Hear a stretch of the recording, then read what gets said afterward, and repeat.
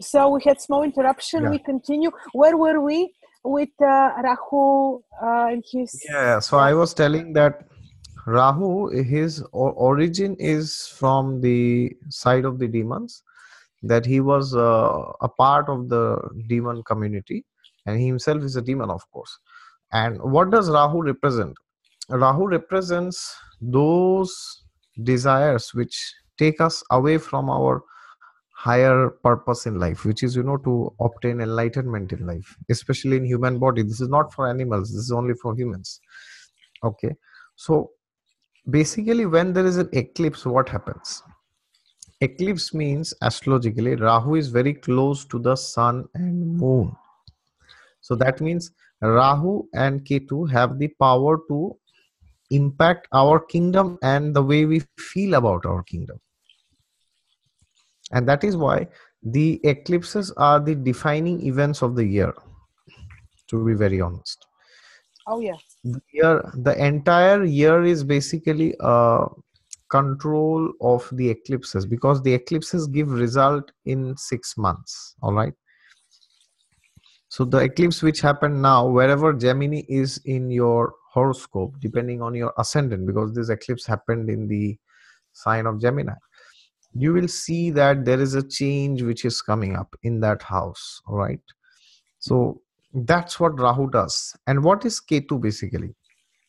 Ketu represents all the frustrations which we have had in the past. Because rahu is not satisfied with ketu. That is why he wants more and more and more. So ketu shows dissatisfaction ketu basically tells you that oh look you enjoyed so much. You drank so much wine. You did this you did that what not and still you are unhappy. That is why when ketu dasha comes and people come to me for readings they have this common complaint that my dear sir things are okay in my life but i feel there is something wrong you know. I don't know what i don't know why but Yeah. There's something wrong even when there's nothing wrong and things are fine but still i feel you know i don't belong here. And ketu is the lord of which sign? They say ketu also rules scorpio along with mars. That's the saying. Now what is scorpio? Scorpio is the eighth house. Eighth house is the graveyard. It's known as smashan you know. So ketu also rules scorpio. So when ketu gets activated in somebody's life then what happens? Temporarily you feel as if i am dead. Temporarily. Wherever ketu is does not matter which sign house with which planets it is conjunct irrespective of that. You will always feel that you, feel that you are like headless. Headless means what? It's like saying your whole body is moving but there is no direction in life you will you would have seen that there are people who don't have hands have you seen people without hands Rarely. yeah but maybe you see sometimes have you seen people without legs Yeah. I know what you mean. Yeah, yeah. yeah but have you seen a pe- person without a head Certainly not, of course. No. that's not possible because there are five airs you know pran apan vayan saman udyan so the uh, in kali yuga the body is so designed that if the head is, the neck is cut off then the pran vayu cannot uh, keep the soul intact in the body okay so that's what ketu is ketu represents all the things that we have tried in the past but they did not make us happy But also for good, the expertise we got, right? Also from past incarnations. Yes, that is very true. And that experience, that is why Ketu is also the significator of spirituality. It's very peculiar, you see. Mm, it's How come a planet, how come a planet which signifies all the things that we have done is also signifying headlessness and spirituality? How come? It's very peculiar. It's very difficult to understand. Does this necessarily mean that all our experiences have made us spiritual? No, definitely not. No, no. there are so many there are so many people who say you know we remember our past lives you know and now they are fighting oh this person took 1000 euro from me last life. I will go and kill that person. I want my money from my past life. You know i was his grandfather. I was her daughter blah blah blah. So the past does not necessarily make you spiritual but then why is ketu the significant of spirituality why that's Not a million. But actually, not always, because you can see in the horoscopes, Ketu exists in every horoscope, and not everyone is spiritual, right? So it's not yes exactly like what, that. what i meant was it is the it is one of the significators of spirituality Right. like like like jupiter and i also made a video what is the difference between jupiter and ketu Oh yeah.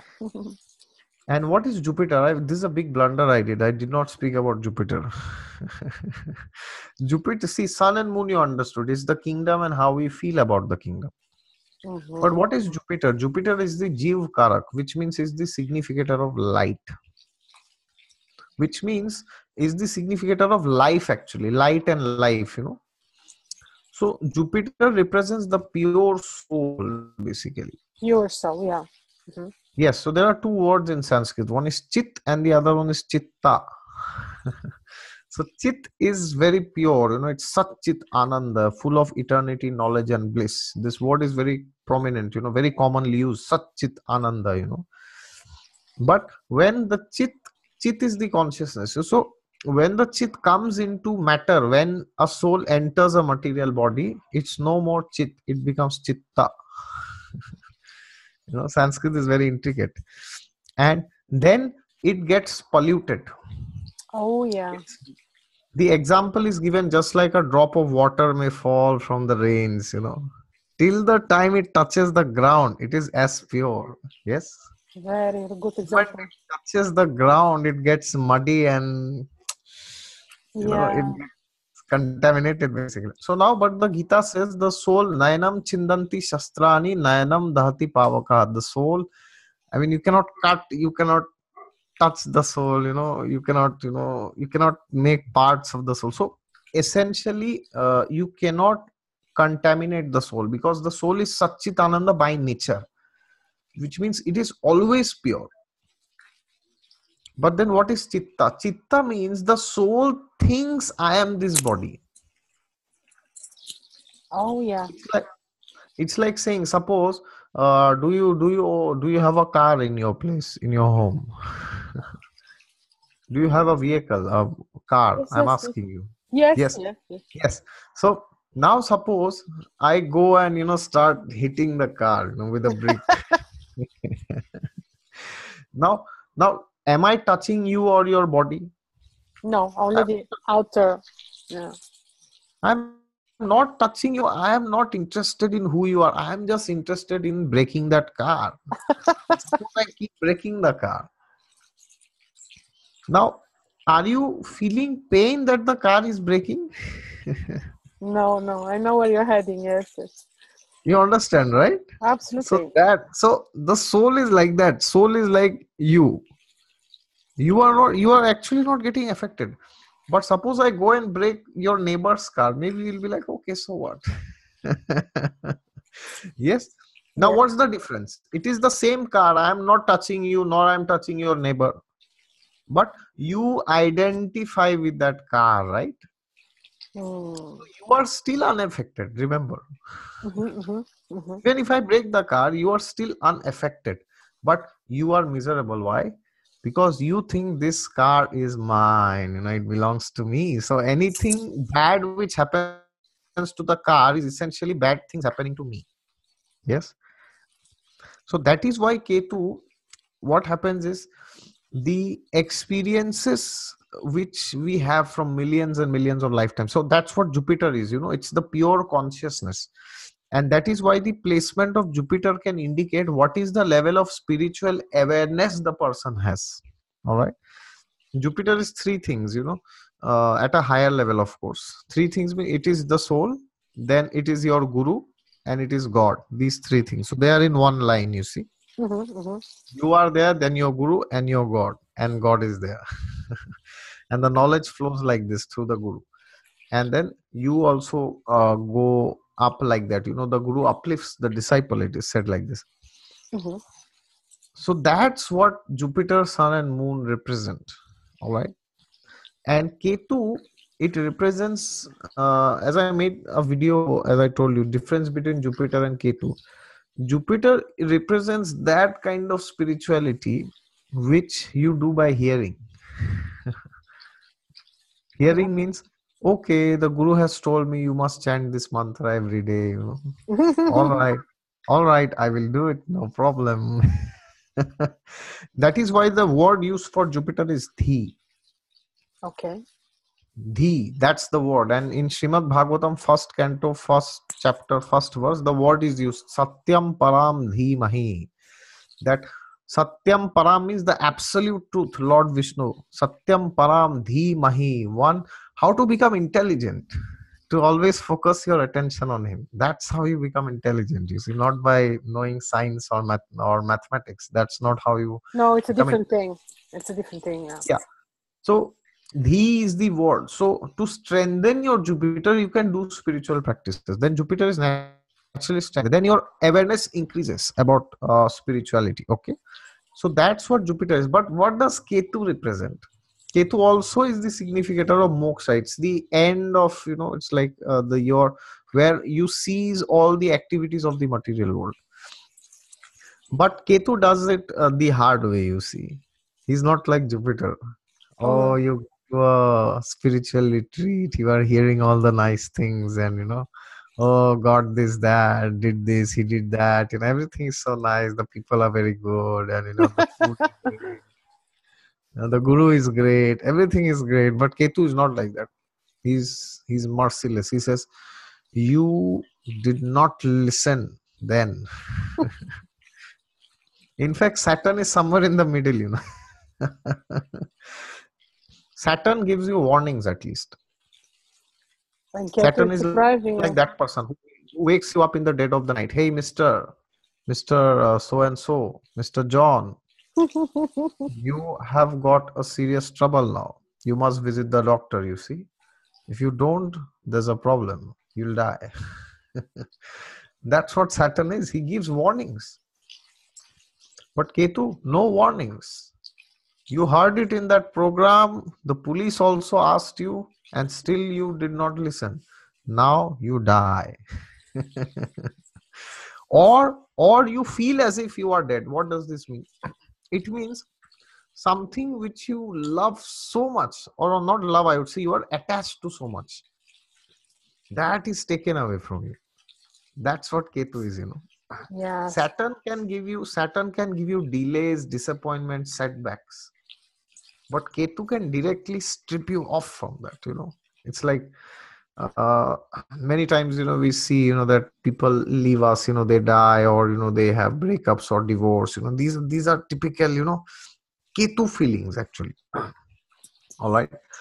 So an intelligent person will not wait to learn you know through saturn and ketu you know and now yeah. saturn and ketu are conjunct in the sky. This is a scary conjunction yes i know. Yeah so what what can we infer from this you know conjunction? That those who do not learn the lessons through jupiter they will be taught like this the hard way all right? So that's what eclipses uh, mean. And rahu and ketu can impact us. So what do you mean when you say rahu ketu will impact us the sun and moon? Rahu ketu rahu basically tells you that uh, hey mister uh, you are not you are not good enough.